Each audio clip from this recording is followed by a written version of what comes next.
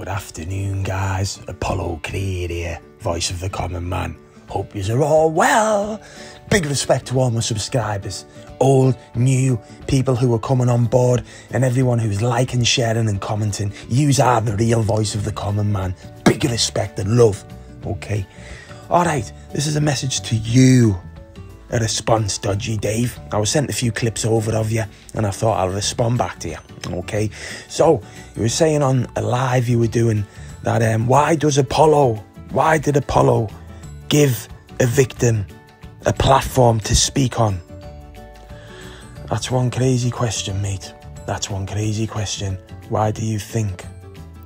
To get her word out there? Does the victim not deserve a platform to speak on? Is that what you're saying? A victim doesn't deserve a platform to speak on? Well, I think they do.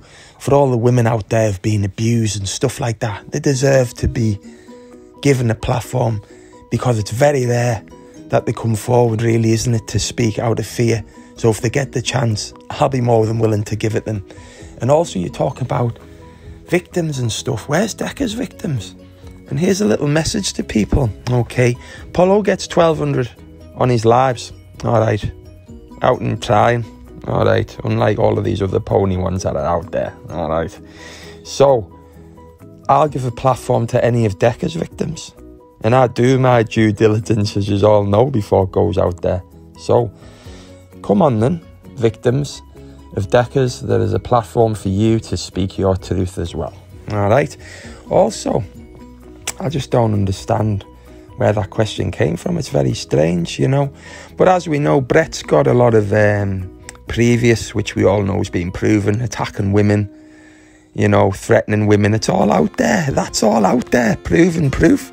Not hearsay. That's proven. He's being convicted of these things. All right. So I don't get where your point is. So the victim came on, which is admitted is his ex because he's had to. Believe me. All right.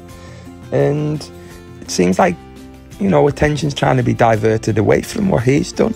But how can you do that when you're chasing someone that you think's the wrong one as well? Okay. Now, Brett has to show his paperwork now. That's a fact. You can send it to Karma Corner, whatever. He has to show his paperwork. His SAR acro, the same as the one from Decca. Okay.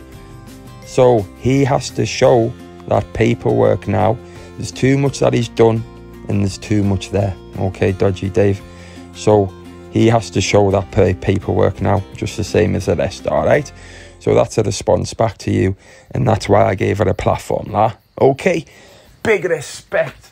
Apollo Creed here, voice of the common man.